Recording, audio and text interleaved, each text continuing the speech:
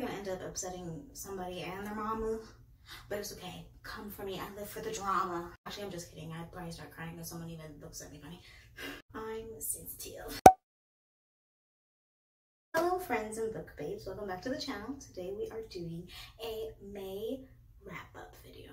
Now I don't know about you, but I feel like I've lived five lives for the amount of time it's taken to be done with May. I don't know about you, I don't know how you was living in May, but for me, it took a very long time to get out of this month. Start off this month, I read Love and Other Words. This is a very, very popular book. If you haven't seen it before, um, you probably live under a rock. I don't know. Tell Patrick Star's that what's up. So I read this book during the beginning of the month, which was finals week, and I was moving out of my college apartment to come back home for the summer, and I had to have all of my stuff in a car while going to San Antonio for a wedding, and then going back home and actually having my crap out of my car. Um, so the first half of this month was kind of stressful, not gonna lie. It did take me the entire two weeks. I had it on Libby to finish it, um, but I say it's more because of everything that was going on and a little bit to do with it wasn't much of a page turner for me to be honest with you. Um i gave i gave this book three stars.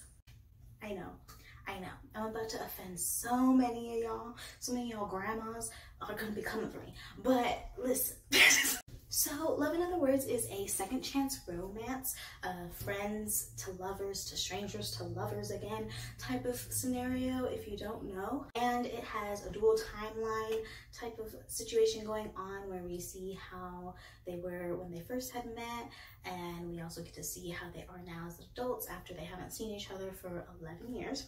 And so you get to figure out what it was that like made them separate for so long. Um, and so the reason I gave this book three stars, so first of all, now with popular books, I'm usually very skeptical because half the time you cannot be trusting BookTok. They be lying, they be lying out here, right? Uh, but for this one, I actually thought I would love it.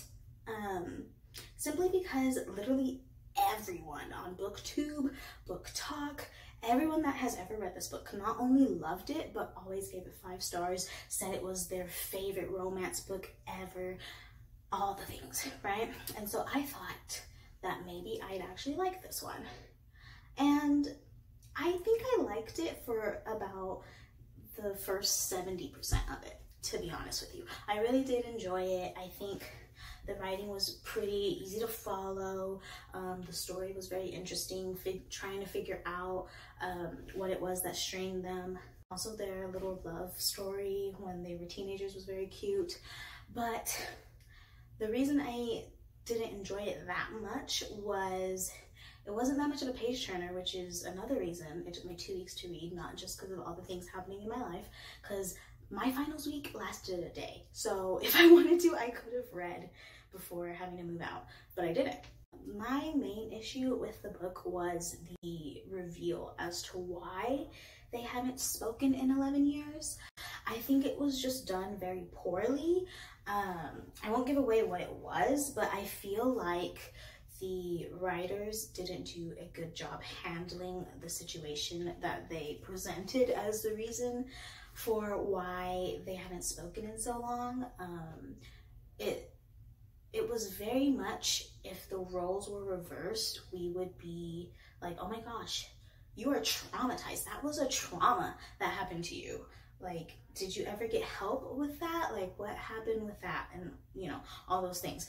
The writers honestly try to gaslight us into thinking that it wasn't a traumatic thing, like, spew it as to something else that had happened and they even made it seem like it was a red flag, all these things. Like, I just, I did not enjoy that reveal. I don't know, I just didn't really enjoy it that much, especially after that reveal. Um, I think the writers just didn't handle the reveal very well. I don't really know how to talk about it without giving it away, so I'm just gonna leave it at that. and also, they got together like in the last chapter, and there was no epilogue, and so it felt like a very unsatisfying read. Like it was not satisfied at the end of it. Like I wanted to see more of it. Um, and things like that. So yeah, I enjoyed the story for what it was, but I think the writing towards the end of it was done very poorly. And so that's why I gave it three stars. Don't come for me. I love Macy. I love Elliot. There was not a character in this book that I couldn't stand, which is great. Other than other than a, a, a little side character, little Miss Emma, I think was her name. I don't remember. Um, wasn't too fond of her. But like the people you don't like, you don't like see like much for yourself. So love and other words, finally read it, didn't really care that much for it. I could have went my whole life not reading it and been fine. So do with that what you will. so after that, I did read another Colleen Hoover book. I finally read Confess.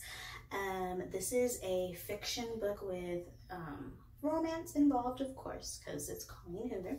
Um, and so I don't really know how to how to like give you a synopsis of this book um, because it's kind of like, how do I do that? I don't know. because all I can really say is that our, that is dual POV. Um, our main characters are Auburn and Owen. Loved them both. Um, and this is basically just about Auburn um, moving to Dallas for for secret reason we don't find out till a little bit after. But um, yeah, she moves to Dallas, she meets Owen, and yeah. That's about all I can tell you, really. Um, I don't even know. Yeah, I don't even know. They just got some confessions to do. That's, that's all I can say, really. Um, this book it was very like the concept was very cool. I'll read the um, dedication to you. The confessions you read within this novel are true confessions submitted anonymously by readers. This book is dedicated to all of you who found the courage to share them. So, we've got some real life confessions in this book, which made me panic. I was like, people are crazy. I'm so scared to see what this is about. um, but um, I think it was done really well. Um, they even have some in the physical book. There's some like art that is in here as well, which I found very pretty. As you can see, loved it a lot. Um, but yeah, I don't really know how to tell you what is about this book without just spoiling everything. Um, so yeah, just know it's dual POV. It's fiction with romance involved as well. Um, our main guy, Owen, he's an artist, and that's where the confessions come in. He gets anonymous confessions, and whatever speaks to him, he'll do a painting about that confession, which I thought was a very cool concept to not only have in a book, but to like have in art. That like that's so freaking cool. I don't know why more people don't do that. but yeah, that's all I can really say about the book. I gave this book four stars. I really did enjoy it. I read it in two days. It was very interesting to read. I liked the writing style of it. The story was great. Um, I gave it four, not five, because I just didn't really feel a connection with the characters um, really at all. None of the characters really. The only one I really like felt connected to even a little bit was Auburn's roommate, which I forgot her name, so there's that. Um, but she's really the only one that I like really felt any connection towards. Um, so it really did just feel like I was reading a book instead of like immersing myself or feeling any like gut wrenching feelings for anything. This book, like when we find out like the secrets, the confessions and stuff of the main characters, it felt very much it reminded me a lot of another book Colleen has. Um, and so this just felt like a, a, practice run for the book that it reminded me of a lot, which I won't say because you could probably figure out the confessions in this if I did. Um, so yeah. Um, and I adore the other book that I was comparing this one to that it reminded me of. So I just, this one was more four stars. After that, I read my first Emily Henry book, which is Book Lovers. This is not enemies to lovers or anything. This is like rivals to lovers-esque. And so the our main character, Nora, she reminded me so much of um, Sandra Bullock's character in The Proposal, Tate. So I kept I kept thinking about that movie. That like is such a comfort movie for me. So it made me automatically love this book because it was kind of similar in certain situations. There was no there was no like fake dating or anything going on, which is kind of the premise of the movie The Proposal, but the character Tate and Nora in this book were so similar. So Nora, our main character, she even talks about how she's considered like the obstacle in the way for the small town romance. She's the city girl, the um, stuck up, um, heartless girlfriend and all these things living in New York and she's just the obstacle for the guy that meets the small town girl that is sunshine and rainbows and blah blah blah and stuff like that. And so she reminded me of Tate a lot because they do go to a small town for a vacation and she was wearing heels like the whole time Tate did that in the movie. Um she I think Tate was a liter literary agent or she was a book editor one of the two but Tate or Nora, and Nora is a literary agent. So yeah, I'm just I'm wondering if Emily like if Nora was made because of Tate.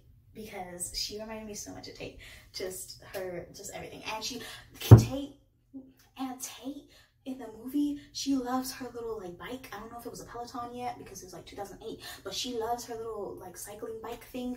And Nora up in here, she loves her little Peloton. I don't know.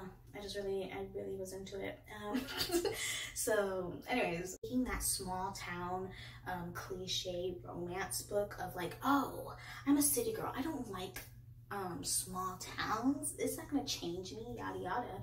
Um, and then they go and then like it changes them and then they wanna stay in a small town for the rest of their lives and marry a farmer or whatever. Like it takes that concept and turns it around. And it's like, no, she is a city girl. She's gonna be a city girl. She's not gonna stay in a small town for some dude type of thing. And so I really enjoyed that. Um, our guy Charlie, um, he's the same way. They're like the they're like copy paste, you know. Um, they're both like cynical and city city people. All the things don't like small towns, and I was here for it. It's like it's grumpy and grumpy, and I was here for it. I loved it so much. and then also, um, if you guys are like an, the oldest sister or an older sister and you have a younger sister, you're going to love this book because there's a lot of that representation happening. They're like, I feel like it was for the sisters' relationship more than these two's relationship, which you might really enjoy. Um, like if you're a Frozen girl and you loved how the sister was the one that saved Elsa or Anna or whoever saved who, I don't know. Um, I don't remember. If you loved that, you'll probably love this. Now, I like Tangled. So I would have liked it more if there was more of their romance as like the main plot and the sisters were the subplot. This book felt more like the sisters were the plot and the romance was the subplot, which to each their own. If you like that, go for it. But I wasn't really into that. I wanted more of Charlie and Nora. They were very cute. I loved them so much. Um, it's just, I don't know.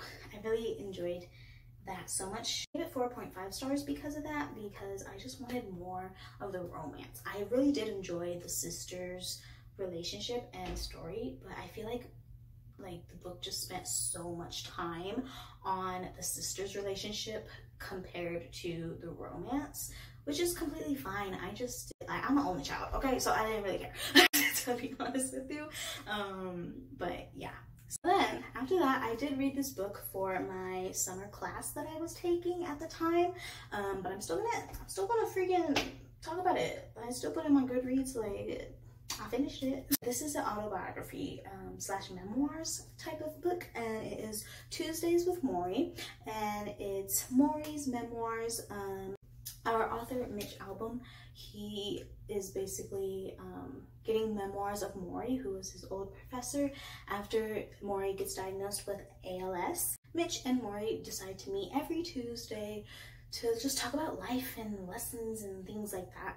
Um, so yeah, it's a very short read. It was less than 200 pages, I think. Yeah, it's less than 200 pages. It was written very well. I really enjoyed it. I gave it, or I didn't give it any stars because it's real life and I don't feel comfortable giving stars to like real life books that are about people's lives. I did enjoy reading it. This book is basically how you would hope you would live out your days if you got diagnosed with some deadly um, disease. This is like the positive aspect of it. This is what you would hope you would act like and like take away from it and things like that. So I really did enjoy it. Um, not giving any stars since it's a real life thing. So. So a different approach to ALS. um, I read Every Note Played by Lisa Genova. So this one is about a pianist who gets diagnosed with ALS. Now, I bought this book like a year ago, so I didn't remember what exactly it was about. All I knew was that it was a pianist whose hands got paralyzed, and I didn't know how or anything like that. And this month, I was gonna actually read a different book, but I felt like called to this book. After I put down Tuesdays with Morrie, I was like, mm, I could read this one, but I really want to read this one though. um so yeah, then I found out that this one was about ALS as well. I didn't even read the synopsis, I just started reading it because I thought I knew what it was about. No, no, I read two books back to back about ALS. um, so the end of this month was very heavy month, okay? But, oh my gosh, so this one is a fiction book. Um, it was written very well. Our author has a PhD from Harvard in neuroscience queen, okay? so this one is in third person, but also like dual POV, where it's like we're gonna switch from her perspective, but still have it be in third person, and now we're gonna switch to his perspective, and still gonna be in third person, so it's like third person, but it's.